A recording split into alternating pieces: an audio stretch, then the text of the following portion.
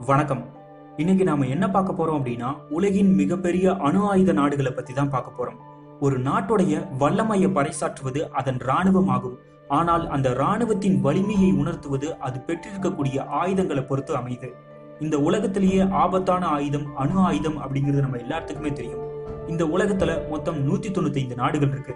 ஆனா வெறும் ஒன்பது நாடுகள் கிட்ட மட்டும்தான் அணு ஆயுதம் அப்படிங்கிற ஒரு விஷயம் இருக்கு. இந்த ஒன்பது நாடுகளை பத்தி தான் இன்னைக்கு நம்ம இந்த பதிவுல பார்க்க போறோம். இந்த பட்டியல்ல ஒன்பதாவது இடத்துல இருக்கிற நாடு வடகொரியா. ஆசிய கண்டத்தின் கிழக்கு பகுதியில் அமைந்துள்ள சிறிய நாடான வடகொரியா தன்னுடைய முதல் எதிரியான அமெரிக்காவிடம் அணு ஆயுதம் உள்ளதால் அமெரிக்காவிடம் இருந்து தன்னை தற்காத்துக் கொள்வதற்காக இரண்டாயிரத்தி ஆறாம் ஆண்டு முதன் முதலாக அணு ஆயுத சோதனை நடத்தியது. இதுவரை ஆறு முறை அணு ஆயுத சோதனையை நடத்தியுள்ள இந்நாட்டிடம் இருபது முதல் முப்பது அணு ஆயுதங்கள் உள்ளன. இந்நாட்டின் கடற்படை மற்றும் தரைப்படை அணு ஆயுதத்தை பயன்படுத்தும் வல்லமையை பெற்றுள்ளது. ஒரு நாட்டிற்கு அணு ஆயுதம் எந்த அளவிற்கு முக்கியமோ அதே அளவிற்கு அந்த அணு ஆயுதத்தை சுமந்து சென்று தாக்கக்கூடிய இன்டர் கான்டினென்டல் மிசைல் அதாவது கண்டம் விட்டு கண்டம் பாயும் அணு ஏவுகணைகளும் முக்கியம்.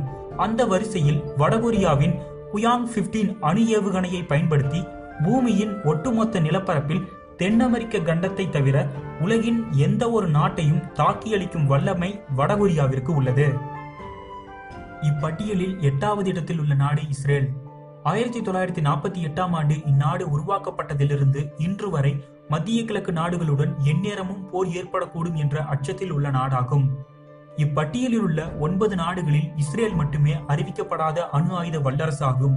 இந்நாடு ஆயிரத்தி தொள்ளாயிரத்தி அறுபத்தி ஏழாம் ஆண்டு அணு ஆயுத சோதனையில் ஈடுபட்டிருக்கக்கூடும் என்று நம்பப்படுகிறது.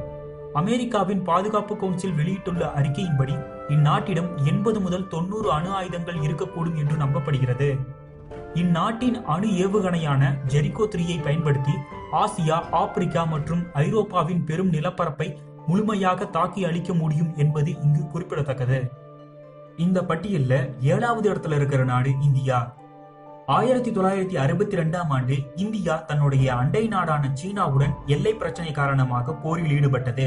இந்த நிலையில் ஆயிரத்தி தொள்ளாயிரத்தி அறுபத்தி நான்காம் ஆண்டு சீனா தன்னுடைய முதல் அணு ஆயுத சோதனையை நடத்தியதை அடுத்து இந்தியா சீனாவிடமிருந்து தன்னை தற்காத்துக் கொள்வதற்காக ஆயிரத்தி தொள்ளாயிரத்தி எழுபத்தி நான்காம் ஆண்டு ராஜஸ்தான் மாநிலம் பொக்ரானில் ஸ்மைலிங் புக்தா என்ற பெயரில் முதல் அணு ஆயுத சோதனையையும் ஆயிரத்தி தொள்ளாயிரத்தி தொண்ணூத்தி எட்டாம் ஆண்டு ஆபரேஷன் சக்தி என்ற பெயரில் இரண்டாவது அணு ஆயுத சோதனையையும் நடத்தியது.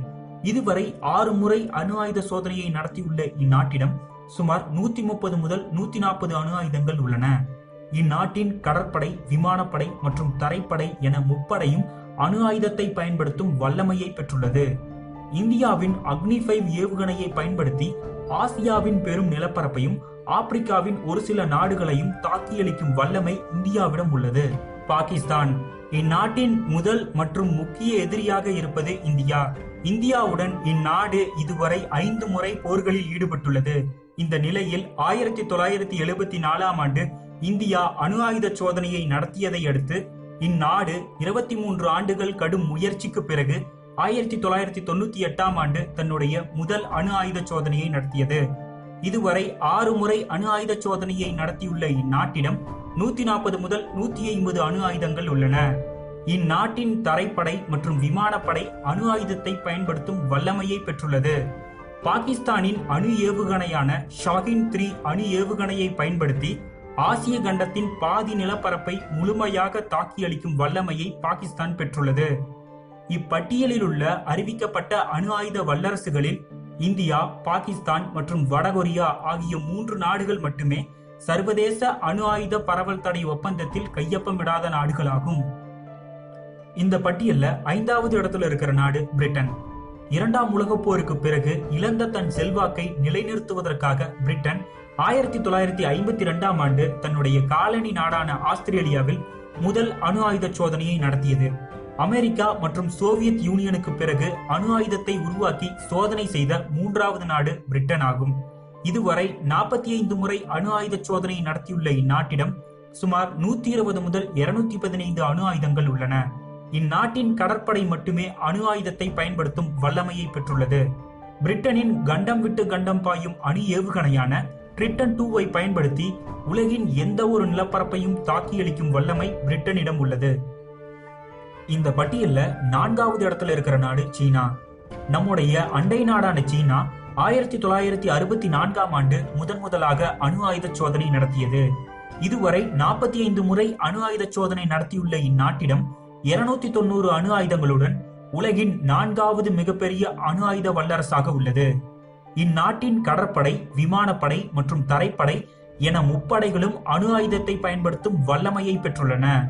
சீனாவின் கண்டம் விட்டு கண்டம் பாயும் அணு ஏவுகணையான டிஎஃப் ஃபைவை பயன்படுத்தி அந்நாட்டால் உலகின் எந்த ஒரு நிலப்பரப்பையும் தாக்கியளிக்கும் வல்லமையை பெற்றுள்ளது. இந்நாடு ஆயிரத்தி தொள்ளாயிரத்தி தொண்ணூத்தி இரண்டாம் ஆண்டு சர்வதேச அணு ஆயுத பரவல் தடை ஒப்பந்தத்தில் கையொப்பமிட்டுள்ளது. பிரான்ஸ். ஐரோப்பிய நாடான பிரான்ஸ் ஆயிரத்தி தொள்ளாயிரத்தி அறுபதாம் ஆண்டு தன்னுடைய காலனி நாடாக இருந்த அல்ஜீரியாவின் சகாரா பாலைவனத்தில் முதன் முதலாக அணு ஆயுத சோதனை நடத்தியது. இதுவரை இருநூத்தி பத்து முறை அணு ஆயுத சோதனை நடத்தியுள்ள இந்நாடு சுமார் இருநூத்தி எண்பது முதல் முன்னூறு அணு ஆயுதங்களுடன் உலகின் மூன்றாவது மிகப்பெரிய அணு ஆயுத நாடாக உள்ளது. இந்நாட்டின் கடற்படை மற்றும் விமானப்படை அணு ஆயுதத்தை பயன்படுத்தும் வல்லமையை பெற்றுள்ளது. பிரான்சின் கண்டம் விட்டு கண்டம் பாயும் அணு ஏவுகணையான எம் ஃபைவ் ஒன் அணு ஏவுகணையை பயன்படுத்தி இந்நாடு உலகின் எந்த ஒரு நிலப்பரப்பையும் தாக்கியளிக்கும் வல்லமையை பெற்றுள்ளது. அமெரிக்கா இரண்டாம் உலகப் போரின் போது ஜெர்மனியின் நாஜி படைகள் அணு ஆயுதத்தை உருவாக்கக்கூடும் என்ற அச்சத்தில் அமெரிக்கா பிரிட்டன் மற்றும் கனடா ஆகிய மூன்று நாடுகளும் இணைந்து மான்ஹாட்டன் திட்டத்தின் ஒரு பகுதியாக அணு ஆயுதத்தை உருவாக்கினர். உலகின் முதல் அணு ஆயுதத்தை ஆயிரத்தி தொள்ளாயிரத்தி நாற்பத்தி ஐந்தாம் ஆண்டு ஜூலை பதினாறில் நியூ மெக்சிகோவில் அமெரிக்கா சோதித்தது. மேலும் போரில் அணு ஆயுதத்தை பயன்படுத்திய ஒரே நாடு அமெரிக்காவே ஆகும். ஜப்பானிய நகரங்களான ஹிரோஷிமா மற்றும் நாகசாகியை தாக்கி பல லட்சம் மக்களை கொன்ற நாடு அமெரிக்காவே ஆகும்.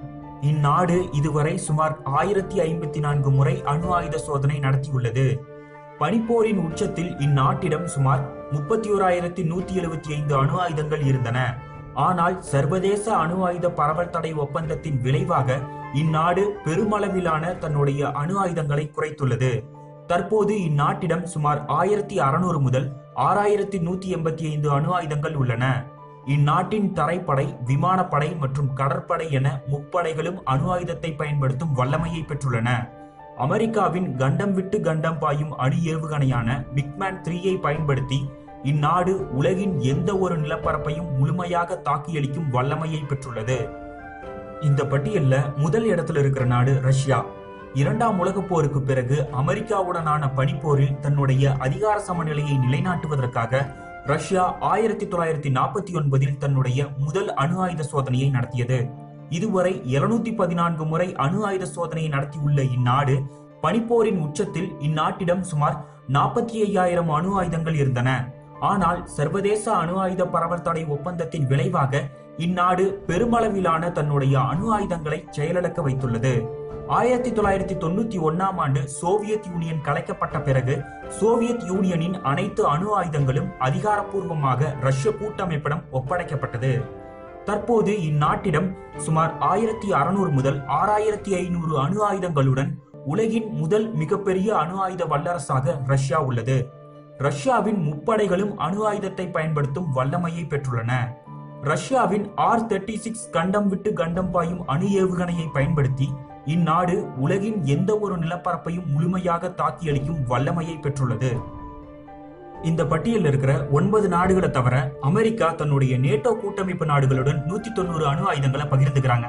அது எந்தெந்த நாடுகள் அவங்க கிட்ட எவ்வளவு அணு ஆயுதம் இருக்கு அப்படின்னா பெல்ஜியத்துடன் இருபது அணு ஆயுதங்கள் ஜெர்மனியுடன் இருபது அணு ஆயுதங்கள் இத்தாலியிடம் எண்பது அணு ஆயுதங்கள் நெதர்லாந்திடம் இருபது அணு ஆயுதங்கள் துருக்கியிடம் ஐம்பது அணு ஆயுதங்கள். ஆக மொத்தம் ஐந்து நாடுகளுடன் நூத்தி தொண்ணூறு அணு ஆயுதங்களை பகிர்ந்துக்கிறாங்க. என்னதான் இந்த ஐந்து நாடுகள் கிட்ட அணு ஆயுதம் இருந்தாலும் அமெரிக்காவின் அனுமதி இல்லாமல் இந்த நாடுகளால் அணு ஆயுதத்தை பயன்படுத்த முடியாது. ஏன் அப்படின்னா இந்த நாடுகளில் உள்ள அணு ஆயுதங்கள் அமெரிக்க ராணுவத்தின் கட்டுப்பாட்டில் உள்ளது.